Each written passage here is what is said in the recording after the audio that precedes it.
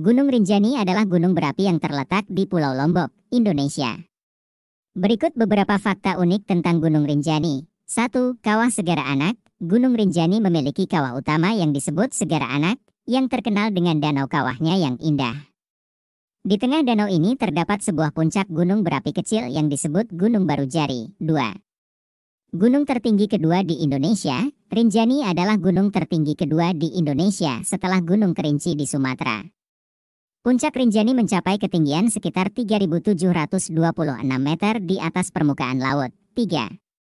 Taman Nasional, sebagian besar Gunung Rinjani termasuk dalam Taman Nasional Gunung Rinjani yang luasnya mencakup area seluas sekitar 41. 330 hektar. Taman Nasional ini merupakan kawasan konservasi alam yang penting di Indonesia. 4. Pendakian populer, Pendakian ke Gunung Rinjani sangat populer di kalangan pendaki dari dalam dan luar negeri. Jalur pendakian utama biasanya dimulai dari Desa Sembalun atau Desa Senaru. 5.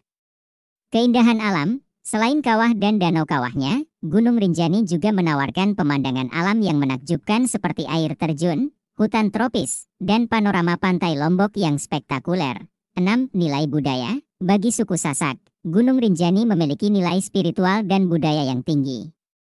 Gunung ini dianggap sebagai tempat suci dan sering menjadi lokasi upacara keagamaan dan ritual. 7. Aktivitas gunung berapi, meskipun saat ini tidak aktif secara besar-besaran.